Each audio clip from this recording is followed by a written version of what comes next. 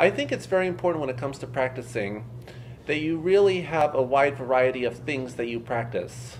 Just like we don't eat the same food all the time, we shouldn't practice the same things all the time. We should make a list of specific technical and musical issues that we want to accomplish and tackle those regularly.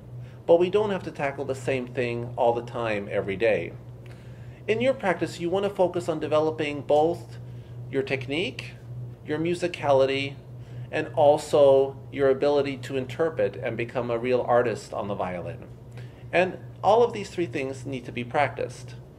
So you should practice technique a few minutes or up to an hour a day, depending upon how much you have time. That includes exercises, scales, etudes, where you focus on intonation, you focus on relaxation, you focus on developing facility, etc., etc. And then you have time where you practice your piece. This can be however much time you have, of a half an hour, an hour, where you conquer both the technical and musical aspects of the piece. And then finally, you have time every day where you practice performing, where you forget about technique and you really immerse yourself into the music and the spirit of the piece and you develop your artistry.